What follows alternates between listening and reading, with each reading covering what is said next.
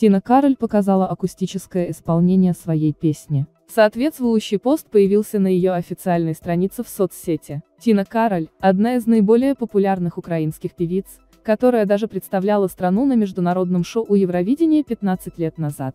Также Кароль является одной из наиболее популярных украинских инстаграм-звезд. На ее инстаграм подписано 1,8 миллиона человек, а на тикток страница 289,1 тысячи подписчиков, с которыми она делится различными подробностями личной и творческой жизни. 6 ноября украинская певица опубликовала видеозапись в компании молодого гитариста. Тина Кароль решила предоставить акустическую версию своей композиции «Двойной рай». «Держи меня, не отпускай», трогательно поет украинская певица. Свою видеозапись она сопроводила постом.